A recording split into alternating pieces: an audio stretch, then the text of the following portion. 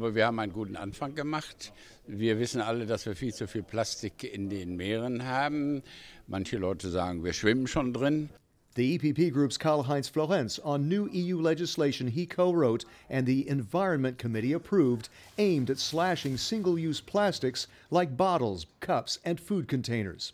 Dafür müssen wir einen modernen Umgang mit Plastik entwickeln. Das heißt nicht, dass wir Plastik verwöhnen, äh, verpönen wollen, sondern ganz im Gegenteil, wir wollen nur effizient damit umgehen.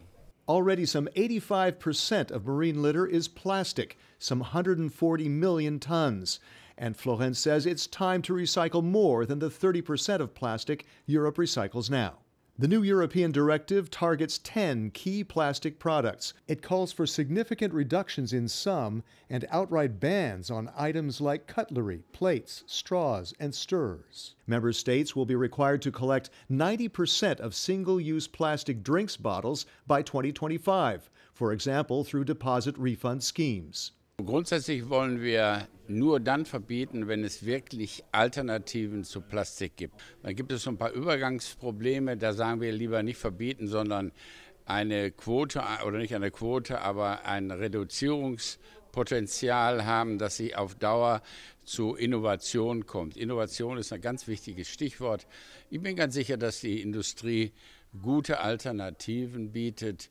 The legislation calls for labeling that tells consumers about the right way to dispose of plastic waste, and for manufacturers to design for recycling. For single use plastic that can't be replaced, like some medical products, the directive applies the polluter pays principle that the producer has to foot the bill for waste management.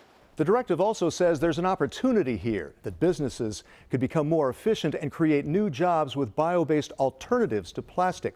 That's why it also calls on member states to raise awareness of the urgent need for a circular economy. Find out more about the activities of the largest political force in Parliament by checking eppgroup.eu. Thanks for watching and see you again soon.